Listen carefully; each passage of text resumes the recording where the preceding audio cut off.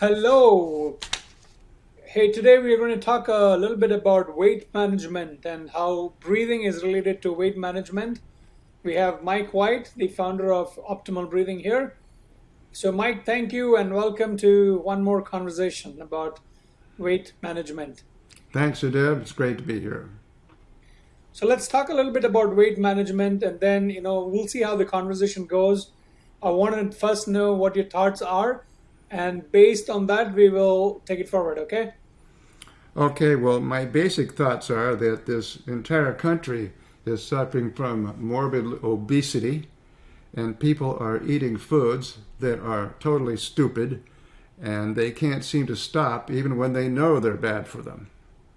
So there's a lot of reasons for that. The uh, processed foods are full of ingredients that really invite addiction. And uh, people just can't stop eating them. Uh, fried foods are, we know that are bad, but you know, a lot of fast foods is fried. Pizza is horrible. I love it and I don't eat it. You know, just because you like something doesn't mean it's good for you. As a matter of fact, chances are it's been it's been uh, filled full of addictive substances that make you love it and crave it and need it, and it's slowly killing you. Did you mention addictive substances? Uh, you have to look at the label. Basically, you can think that anything that has more than four or five ingredients is it, in it is highly suspect.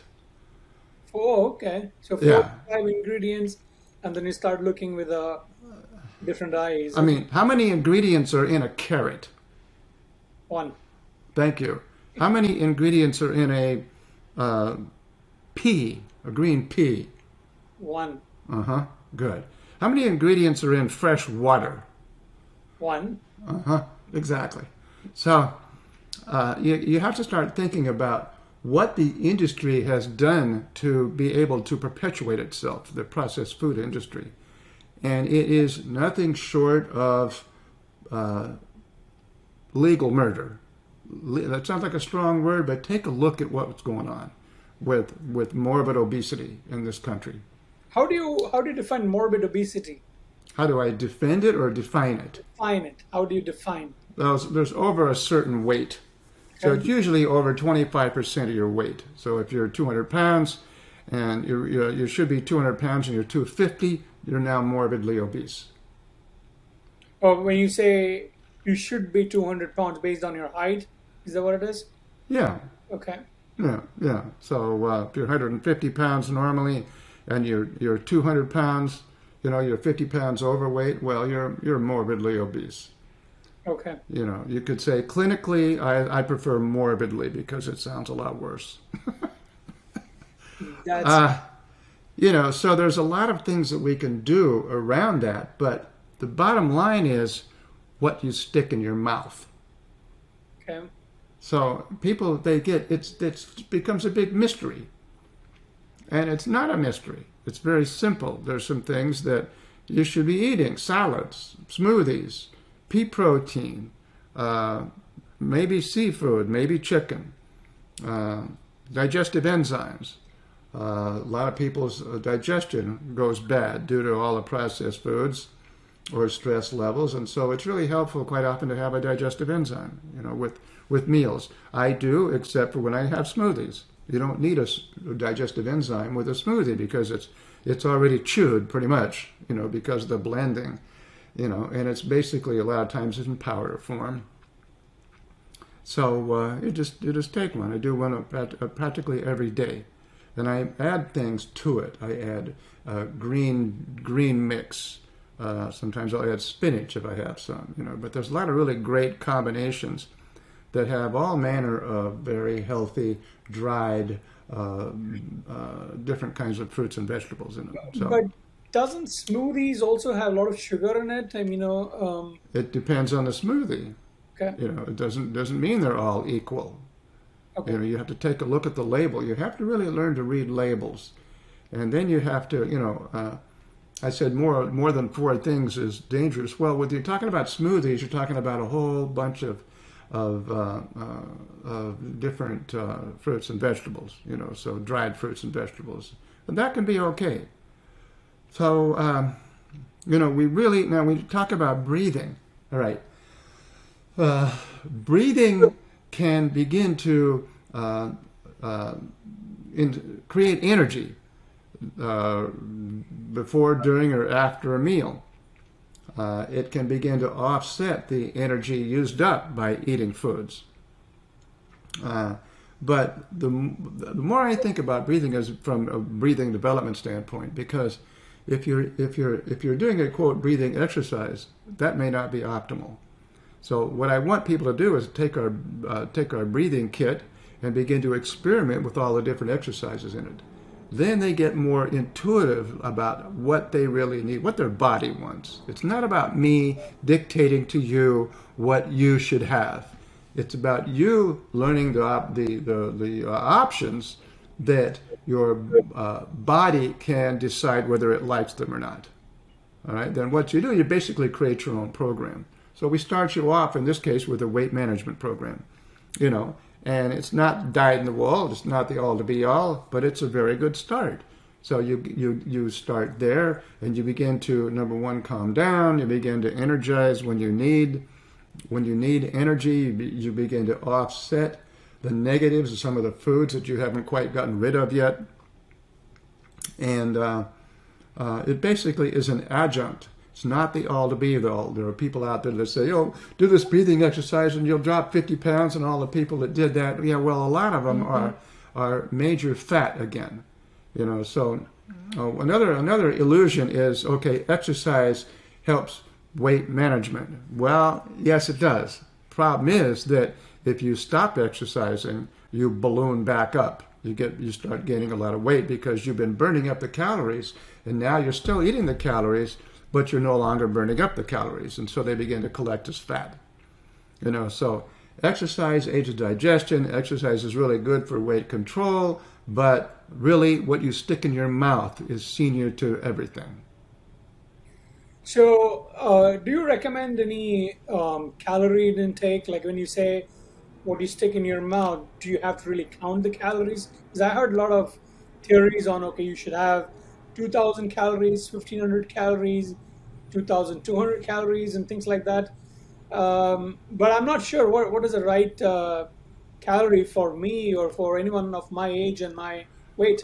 There's no way of telling. It depends on your activity level. Okay. Uh, and uh, depends on your, on your on your digestion. It depends on your assimilation. It depends on your meta- metabolism.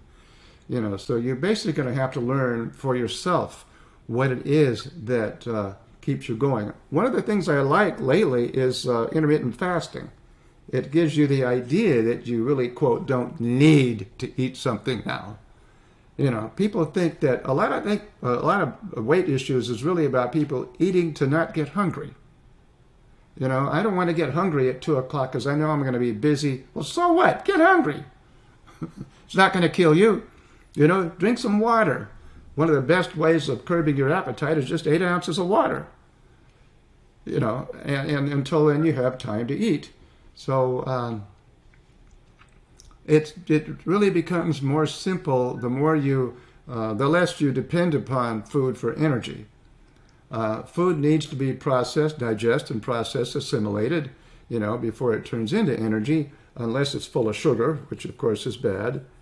Uh, and so you can basically just uh, learn over time that what you stick in your mouth is the critical part. And uh, until you stop, until you start doing that, you're going to be bouncing around. You're going to be a, a, a, a weight management loose cannon.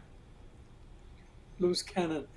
All right. So um, you talked about what you stick in your mouth. Is there a particular time what you eat, when you eat, uh, that you follow. I know you you you're 80 years old.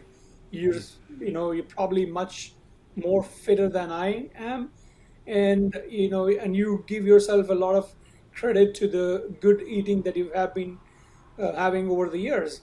So I want to know what's a typical what what's a good diet to follow or what's a good um, you know eating habit to follow during eh, on a particular day okay, as I said before, salads, fresh fruits and vegetables, smoothies.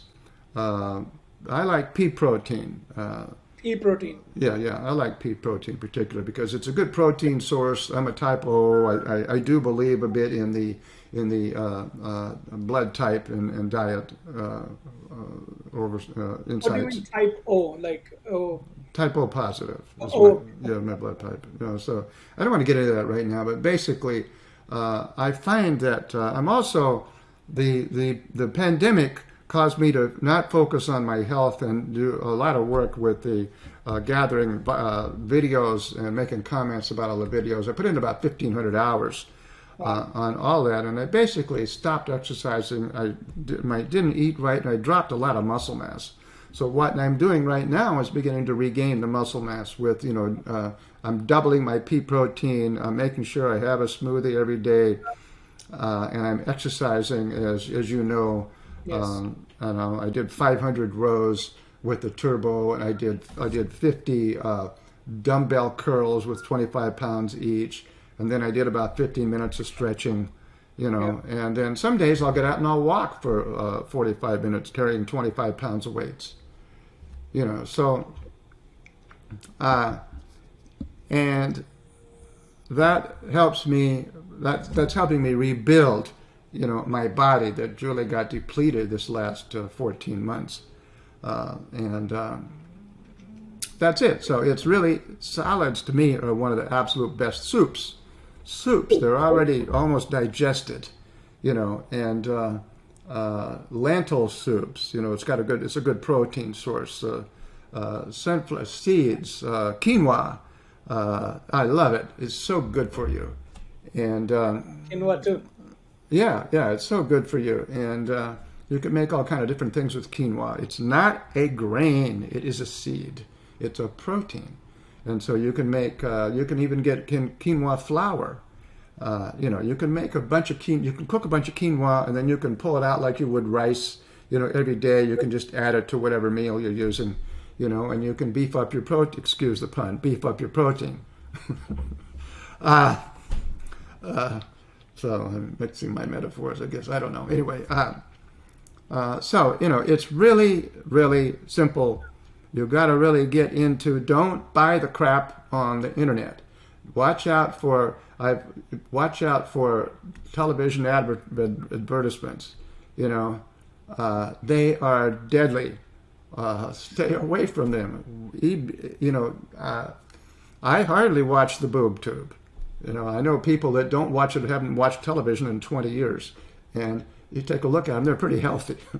you know, it's not like you have to watch all that junk on television to stay uh, to get and stay healthy. In fact, it's really dangerous. it's really threatening to your health. You know. So. Yeah, I, I, figured that out about eight years ago, and I haven't watched um, TV regularly. Um, the only time I spend is probably on a weekend watching mm-hmm. a movie or maybe like a serial. But anyway, that's a different topic. So uh, coming back to the um, weight management and good diet, one thing that I want to ask about is what's a good time in the evenings um, to eat? Because I've seen people eat at 8:30. I've seen people eat at 6:30. I've people I've seen people eat at 10:30 in the night. You know, I know um, that the earlier the better, but um, what's a, what's the right time? You know, is there a particular time? That's a question. I don't think there is a right time. But you go to Spain, for instance. What really baffled me is that you know they did the Mediterranean. They did the Mediterranean diet with 7,000 people, and they found out that that's how they validated the Mediterranean diet. They had actually had a captive audience where you could only eat the Mediterranean diet, you know, for uh, quite a, several months, and they really validated the diet. Uh, the first time they'd ever been able to control a, a, lot of people to do the same diet, you know, and so, uh, but so that was that was one piece of it. Another piece of it is you notice that in Spain, Spain, they do eat very late at night, eight eight thirty at night, you know, but they also have siestas in the middle of the day for a couple of hours where they don't do anything. There's got to be something associated with that, and I'm not sure what it is, you know, but. Um, uh, I would not eat late at night. I, I, don't I don't I don't like it. I like to be able to uh, stop eating around seven o'clock. Sometimes, uh, if I'm doing intermittent fasting, I won't eat past like three or four o'clock. You know, I might have uh, some water or something, you know, in the evening that's just maybe, maybe some fresh pressed juice uh, around seven or eight o'clock. You know, uh, but by and large, I can just drink some water. Don't confuse hunger for thirst. That's one of the big mistakes people make. You know, they feel like they're hungry, but they're really thirsty. And they really just need to drink some water. Learn the diction. Oh, I'm telling you. Um, so uh, anyway, I'm not sure. I think it's going to vary culturally. You know, when you eat, how much you eat, uh, what happens the next day, uh, the kind of foods that you eat late at night, uh, and how much you eat. For instance, some people eat late at night; they don't eat very much. You know, for instance, if you're French, you don't gorge yourself like we do here, you know, uh, although you could because the food's pretty good, you know. But basically, uh, you just, uh, your, your, food is in moderation. Uh, so um, we don't know that much about moderation in this country because the foods, the, the, the processed foods, don't satisfy. So you keep eating them again and again and again, and now you expect to you expect to feel satiated when you feel full. And trust me, by the time you feel full in your belly, you've gone way, way, you've eaten way, way, way too much, way too much. So that's the wrong signal. If you're eating the right kinds of foods, salads and smoothies and, and uh, uh, fresh fruits and vegetables and things, they begin to uh, they begin to affect your appetite and they tell your body, I don't need any more. You know, notice the difference when you eat a salad, uh, soup and salad. You know, how you don't feel hungry. You know, and um, uh, if you eat a like if you you could eat a whole bag of potato chips and still feel hungry. yeah, I've seen that. You I've know? definitely seen that. Yes. Yeah, and now you've loaded up on salt. You know, so. Uh, uh, you know, salt can be very deadly, uh, in, you know, in excess. Sugar and salt. Uh, so uh, they're both they both can be pretty bad. But I do salt foods. I use Himalayan salt, you know, because I do like foods salted in a certain amount. Great. And um, talking about uh, you know good eating, I know some of us are vegetarian. I know you um, you like to eat a lot of vegetarian food, but you also occasionally eat, uh, you know, meat. Meat, yes. Yeah, meat. It's called meat. yeah, I, we call it non-vegetarian, you know, so it's meat, yes. Yeah, no, no, it's meat. It's, yes. it's called meat, M-E-A-T. You know, it's yes. an, animal protein. Yeah, go on.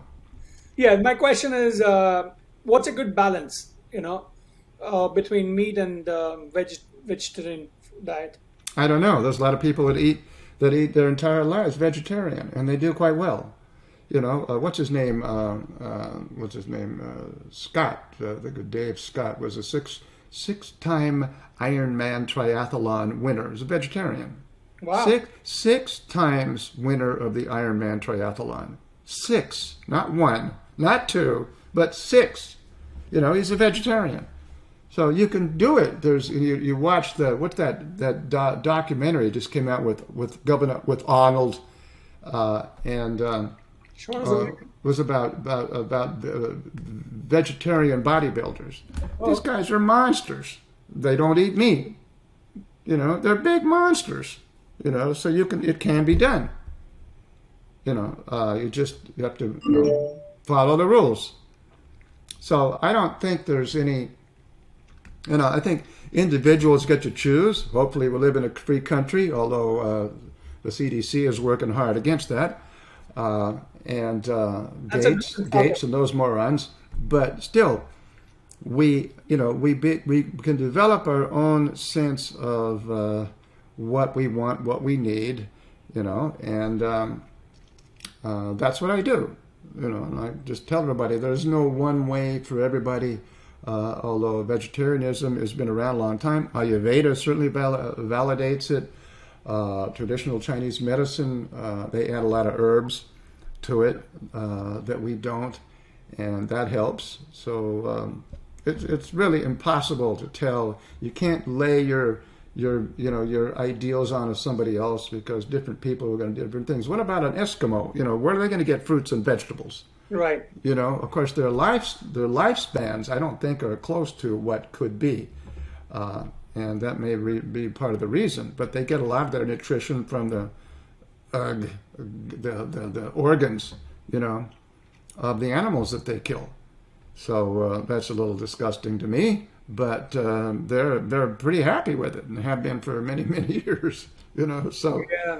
yeah, I think it's just a matter of finding your own your own path, you know, and then being comfortable with that and and laying off the processed fried foods, pizza, sugars, salts, you know, excesses, and um, uh, that's really the key. It's almost uh, Freddie Bisci, one of my favorite people, who's a who's a 80 plus year old uh, uh, clinical nutritionist. It basically says the secret is a lot about what you don't eat. Oh, I see. Yeah. know, what you do not eat. Hmm. You know, it's like television, what you do not watch. Yeah, there's a lot of uh, negativity uh, that goes in what you feed your brain is similar to what you feed your mouth, right? So, Exactly. And I do a lot of supplements, you know, and I, I won't get into the supplementation issue here because it's really what it's not about. We're trying to do natural natural weight management now, you know, and uh, I do supplements for uh, different reasons. Uh, I noticed my eyesight was going bad, and I had to wear glass. I'm wearing glasses for the first time. I was 77 years old before I had to wear glasses, and I realized the reason for that is when I stopped doing my fruit, my my, my vegetable fruit smoothies for three or four months, and I stayed on the, the computer a lot. And so my eyes got worse and worse and worse. And all of a sudden, I said, "Oh my God, I need glasses. I need to go to an optometrist and get a prescription for glasses." You know, and I absolutely hated glasses. I don't still like them very much. So right now, lately, I've been back on how to improve my eyes with eye exercises from from um, uh, from uh, oh my God, now what's her name? van der Werf. Uh, uh, from uh, uh, my natural vision trainer, and her name is escaping right now. But last name is van der Werf, and you want to check her out because she's got some great she's got some great natural vision exercises. But you can also be uh, short. I think I was probably short on vitamin E from the carrot juice in my in my uh, uh, in my uh, uh, in my uh, juices. You Okay. know, my, in my juicing, and if you go to if you go to optimalbreathing.com and you type in juicing, you're going to get a ton of information on how to make juicing so that you will drink it, so you'll have it available. Uh, you can juice. We I used to juice about three gallons at a time, and then food save them in half gallon mason jars. And that way, the shelf life would go way up. There's some purists that say, "Oh, you got to drink juice right away, otherwise you lose." Blah blah blah blah blah. Well, okay, fine. That may well be true to a certain degree, but most people will not spend 45 minutes doing a bunch of juicing in the morning. I spend about three minutes, you know, because I just pour it out and then I food save the jar again for what's left in there, you know, and I go on with my day, you know. So uh, I dirty the kitchen once a week, once a week, once once every 10 days or so. It takes me a couple of hours. I'm done for the next week and a half. That's it. You know, that's the way to. So you just go into breathing, optimalbreathing.com, and you type in juicing in the in the search engine, and you get the whole regimen. You'll get all the 12, 13 different fruits and vegetables, you know, and organic, of course, and you s- discover what it is that uh, you need to do in order to make it simple, and it works. great. Um, one uh, final question before we uh, call it a day. Um, on the weight management, we talked about uh, breathing. In the breathing kit, you talk about weight management.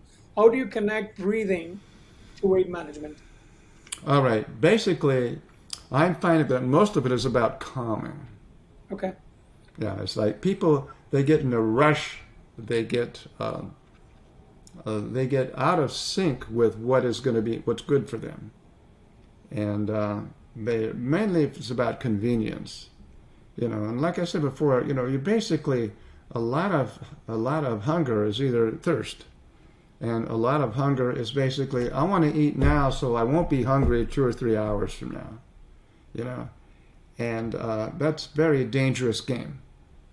A very dangerous game. You know, basically, you want to have a banana or an apple or some grapes or something. And if you start to feel hungry and it's not really, you don't really have an opportunity to eat something more substantial, fine. Then you just pop a couple of grapes. You know, uh, I remember I went to a raw food convention once and they had these plums. You know, and and it, were, it was a great experience because I would get up in the morning about 5:30. Just I just wake up, uh, and then I'd work all day I work on people all day until almost midnight, mm-hmm. you know, and then I go to sleep. Well, during the day, they would bring around these plums, just fresh plums, you know, and I called them fuel cells. Fuel cells? yeah, fuel cells. Uh, it's high density, uh, and uh, I'd have like four or five of them, and I'd go for another like three or four hours, you know, uh, five hours, and then I'd have a couple more. And I basically lasted all day from early morning until late evening, you know, on these uh, plums. You know, so uh, this, this, it was a you know it was a surprise to me. Oh my God, I'm feeling great, and I'm up and I'm active and I'm working, you know, and I'm working on people. I worked on 15, 20 people a day, you know, on their breathing mechanics. Uh, making it easier for them to breathe, to sleep, to speak, to sing, you know, in about 30 minute sessions. Uh, and uh, so basically, when you're talking about breathing and its relationship to weight control or weight management, uh, you just need to breathe more evenly, naturally. You need to sleep better. Uh, you need to pay more attention to what you stick in your mouth. It's all going to come back to what you stick in your mouth. It's not magic. And you think uh, all of it is kind of laid out in either optimalbreathing.com or in the breathing kit? The the breathing exercises in the weight management uh, theme because we have about ten themes there. Okay. Yeah. Uh, uh, the breathing exercise is going to be very helpful. Don't expect them to be the all to be all. Uh, I'm not going to say, oh, you do this, you're going to learn, you're going to run, you're going to well, lose 100 pounds, you're going to be, you know, the person you always wanted to be and all that crap. You know, it's not true. These people are selling junk. They're selling lies, they're selling deceptions, they're selling, you know, and then you try their thing, it fails, and you feel worse about yourself. Uh uh-uh. uh. You know, you just use the breathing kit to level out. Use it to energize. Use it to calm down. Use it to sleep better. Use it to speak and sing better. All the different things you can get from it. Meditation. People can't meditate. They use the breathing kit, they can meditate or they meditate better, stronger. You know, uh, energy wise, yes, you can develop energy. One of the exercises is around energetic calm. That sounds contradictory. You know, energetic calm. I don't get it. When you feel it, you'll get it. You know, it's like it's like tasting chocolate. How do you know what chocolate tastes like until you taste it? You can't read about it. You can't listen about it. You have to taste it. And when you're talking about optimal breathing, you have to experience it. Awesome, Mike. As always, it's a great pleasure talking to you. And you know, definitely, I've learned something about diet, weight management uh, that I did not know about it before. So, look forward to more conversations. Thanks once again. Have a great one. You're welcome. Take care.